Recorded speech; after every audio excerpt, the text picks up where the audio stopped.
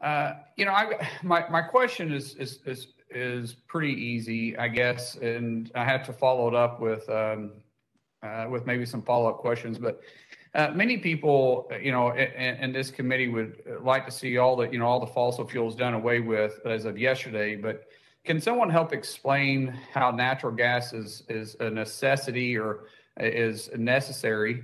As a bridge fuel for the transition? And I'll kind of leave that open for, for whoever wants to grab that question.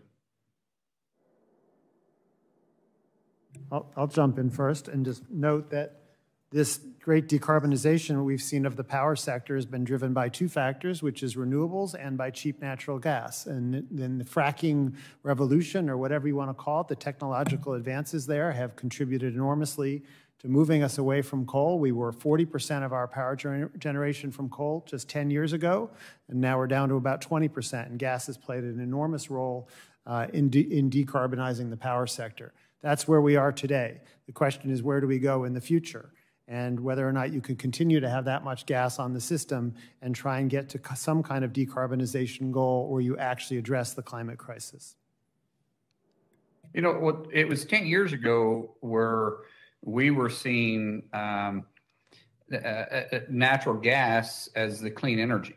And when you start seeing what's happening in Germany, and as they're transitioning, uh, you, you, know, to to re, uh, renewables, you're seeing they also have an increase on their dependency on natural gas to offset it. Because the last time that I checked, we were really having a hard time figuring out how to store um, re, uh, renewables and be able to meet high pitched demands when we are uh, facing peak hours. For instance, in California, the reason why they have rolling blackouts is during peak hours.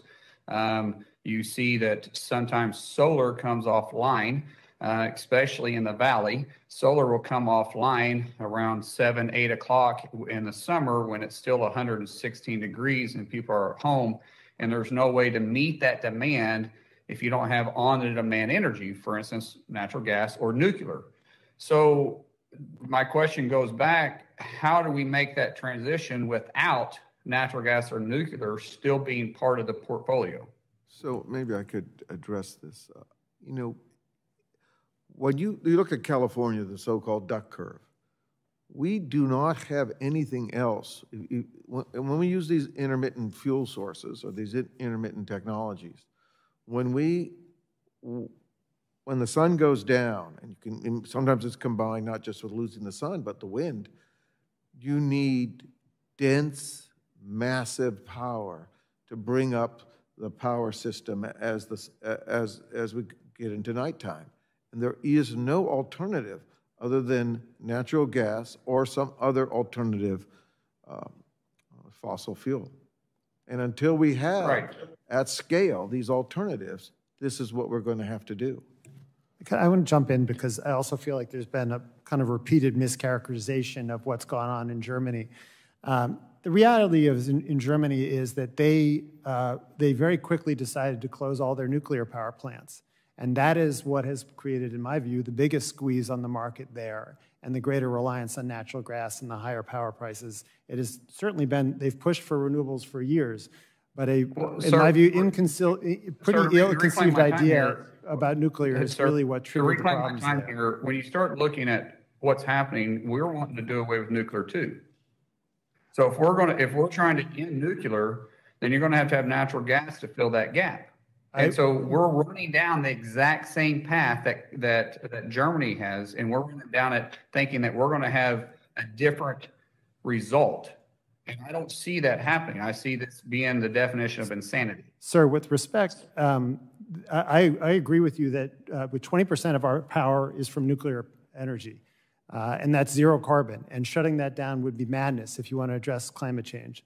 Um, but if you look so at the infrastructure, could I, could I just let me finish, please? Yeah, the infrastructure me, bill me, includes six billion dollars to keep those nuclear reactors open. Sir, hold on a second. Reclaiming my time here.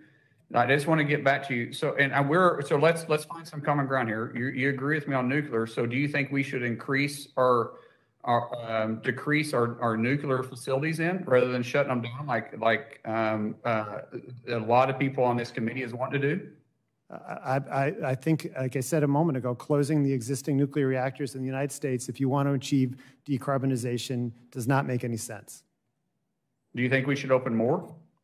I think it's a technology that should be invested in. And again, if you look at the infrastructure bill, there are billions of dollars to support advanced nuclear reactors.